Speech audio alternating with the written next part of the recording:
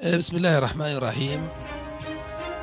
آه، وصلى الله وسلم على سيدنا محمد وعلى آله وصحبه أجمعين إلى يوم الدين.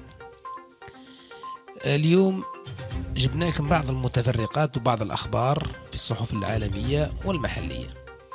قبل ما نمر لهذه المتفرقات اللي مش مشترك في القناة نتمنى أنه يدعمنا باشتراك في القناة ولايك للفيديو.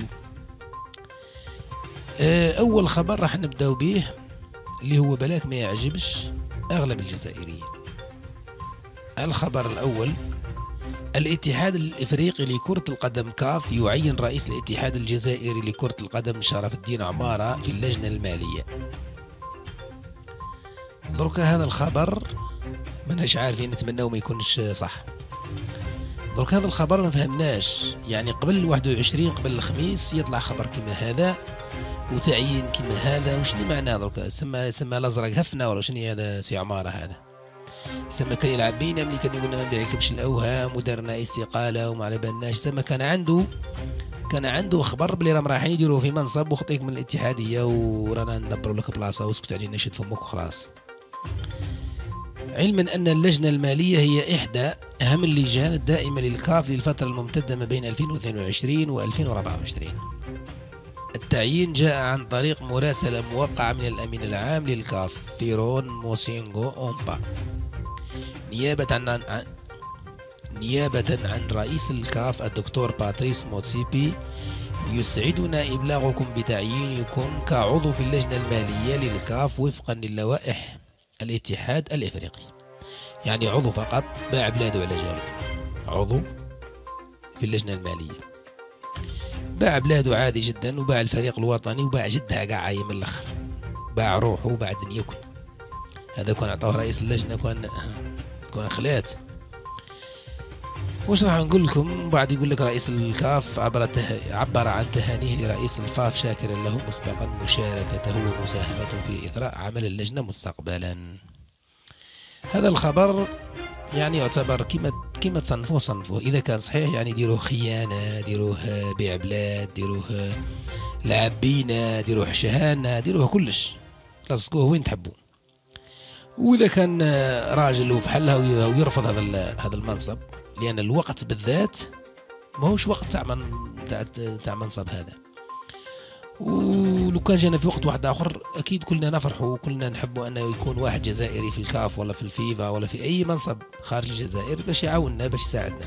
بصح في هذا الظرف بالذات وش معناها يعني يطرح أكثر من من علامة استفهام.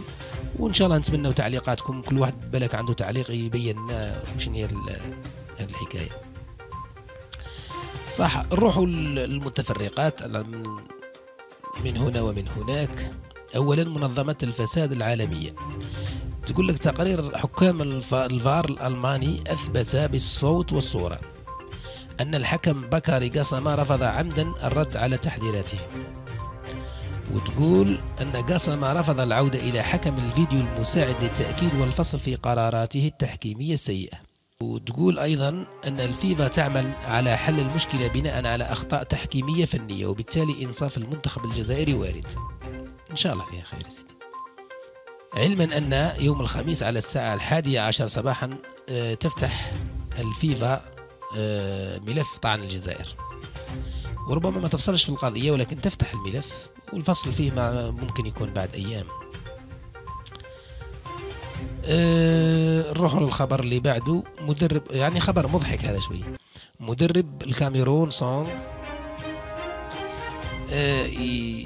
يغرد بتغريدة ويش يقول؟ يقول لك لم تعد لدي الرغبة في اللعب ضد بعض المنتخبات التي تخلط بين تخلط كل شيء بالرياضة.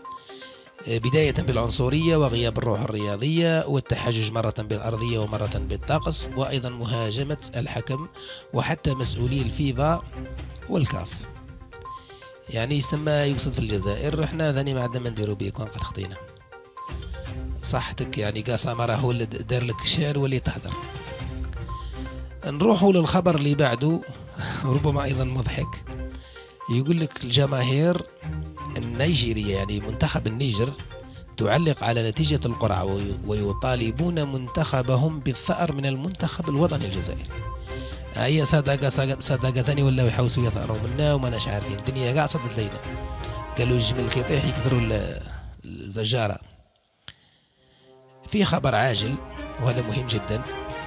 يقول لك حكام الفار الألمان في مباراة الجزائر والكاميرون يصلون يوم الجمعة إلى سويسرا وهذا بطلب من اللجنة الخاصة بالطعون في الفيفا. خير إن شاء الله. بالك يكون فيها خير أه وش راح نقول لكم في الأخير؟ أه نتمنى كل واحد يحط لنا تعليق. وش راح نقول لكم؟ وان شاء الله غدوة 21 في الشهر إن شاء الله يكون فيها خير. هذا الشيء اللي نتمناه حنايا. على الأقل ما يستشفاوش فينا العديان وخلاص هذا مكان. وإذا ما ما كاين والو يعني مش نهاية العالم. ما زلنا نخدموا ما زال عندنا فريق وطني وما زال نمشوا معه إلى آخر رمق. وشكرا جزيلا.